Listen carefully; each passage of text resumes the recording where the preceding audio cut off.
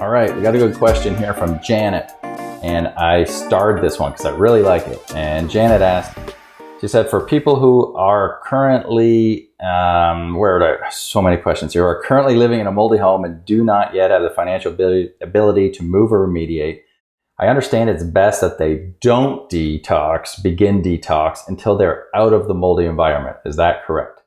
No, Janet, that is not correct. Okay.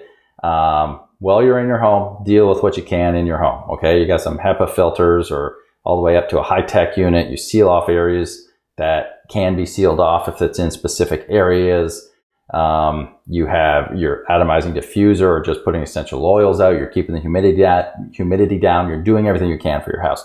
But for the body, you do start to detox. And detox isn't just about um, grabbing a binder. Okay.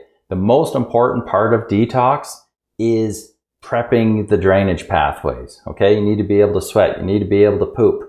Okay. Your liver needs to be able to function well. Your bile needs to be flowing. Your kidneys need supported. So many of these mycotoxins are aggressive and harmful to the liver and to the kidney. And we know it is to the digestive tract. Okay. It can literally stop you from pooping, which is a massive problem. So when you're in mold and you can't get out, you're not going to jump on, you know, three tablespoons of charcoal a day. No, that would definitely cause a problem. But you're going to start supporting all your eliminative organs. And, and if you're sensitive, you can start with um, uh, homeopathics. Like I have the Des Bio Comprehensive Detox Kit here.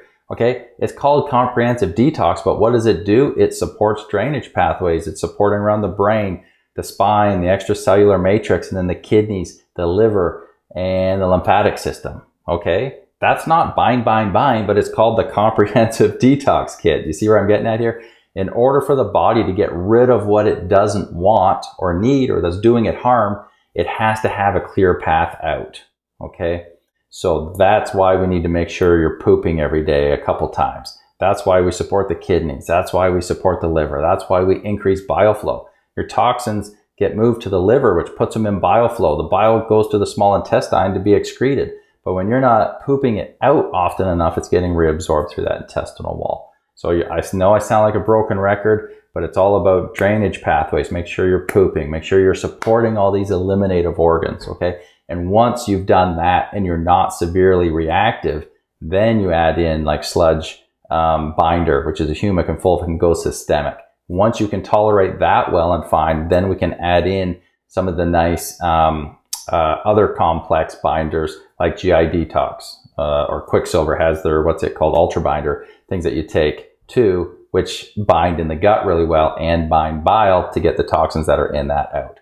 Okay, so I hope that helps, Janet. You absolutely want to be doing something now, protecting your house, building your body up so that you can get this rolling and get back to the uh, health that you deserve. Do you have questions about mold in your home or body? Book a consultation with Matt, aka the Mold Man, to guide your home and body to the next level of healing.